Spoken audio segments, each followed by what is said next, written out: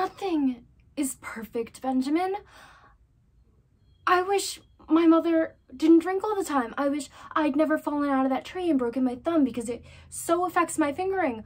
I'll never play the violin as well as I'd love to, but that's where the bullshit ends. It's only bullshit if you let it pile up. Heaven is in the details. Someone said that. Um, Robert Frost, I think, said that. I went to the diner with my roommate Diane, and this man walks in, and he has a goat on a leash.